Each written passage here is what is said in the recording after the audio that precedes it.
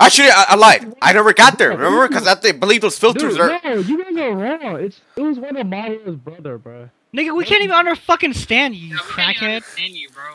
I, I need to live, Nigga, fix your shitty ass mic.